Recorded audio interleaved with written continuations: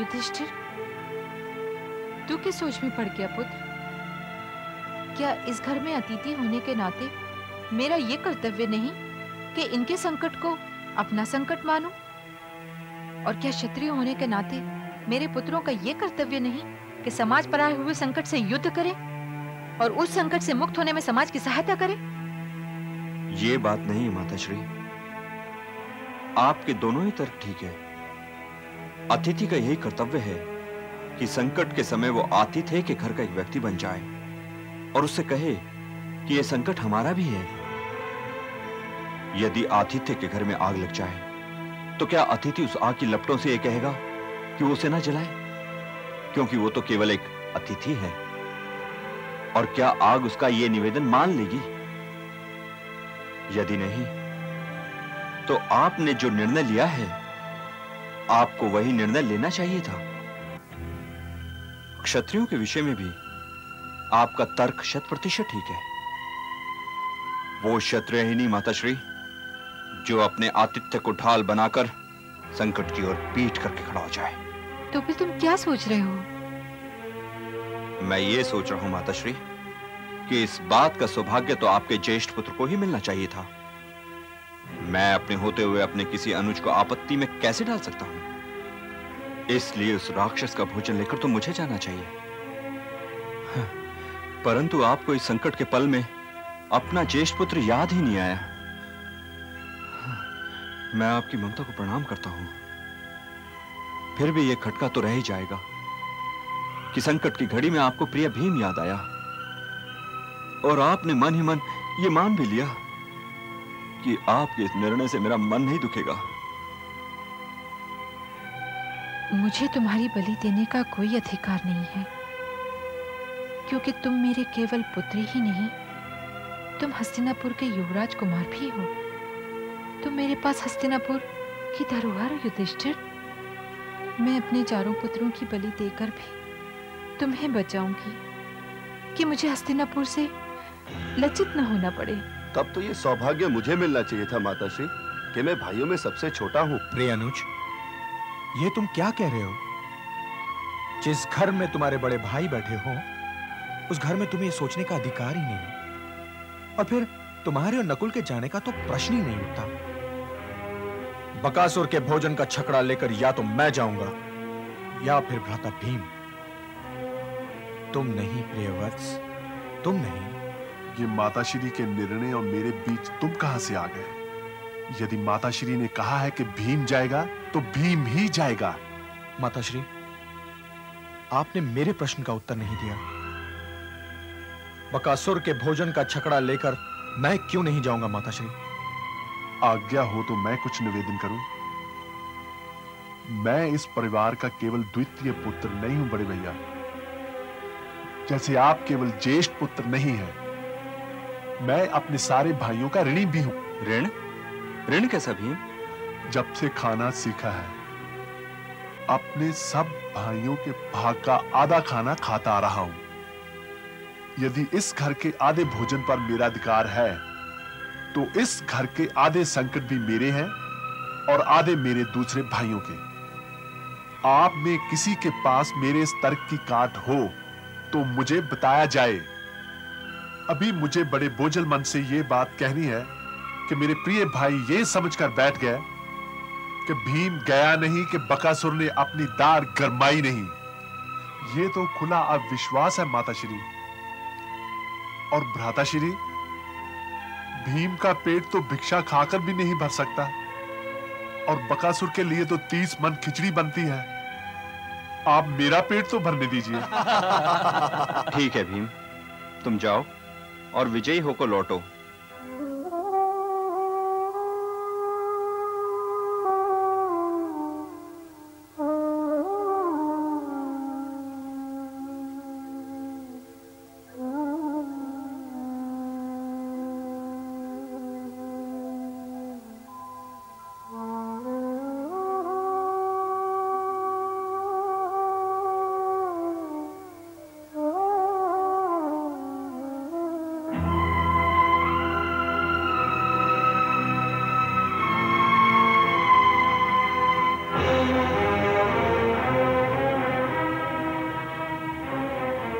नगरजनों, नगर की सुरक्षा के लिए मेरी ओर से ये भेंट स्वीकार करो। बहुत बहुत धन्यवाद।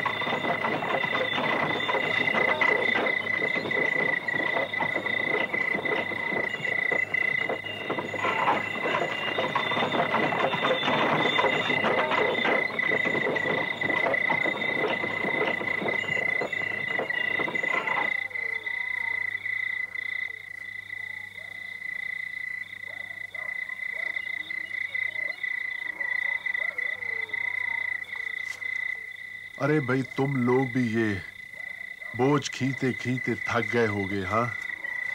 तो मेरा ये कर्तव्य बन जाता है कि तुम्हारा ये बोझ हल्का कर दो।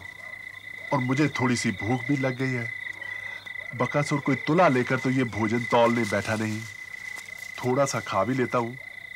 तब तक तुम दोनों इस वन की नरम नरम हरी हरी पत्तियों पर अपना मुँह मार लो।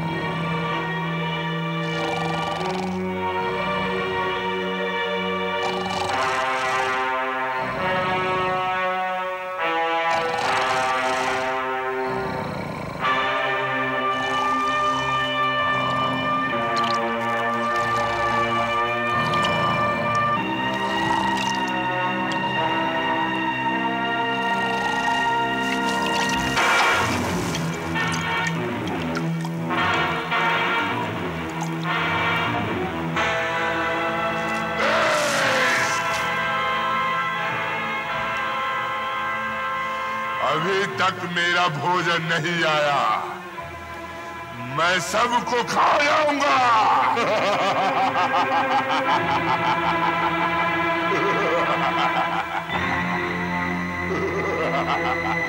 अब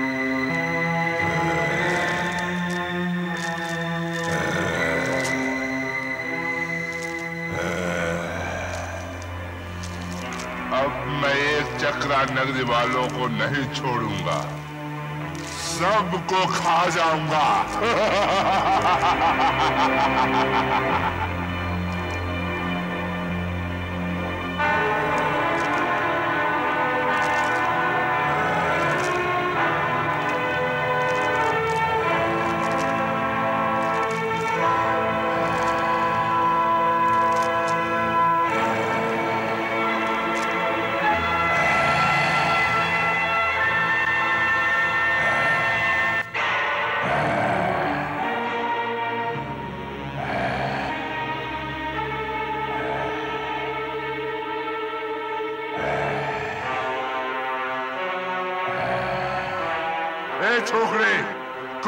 तू।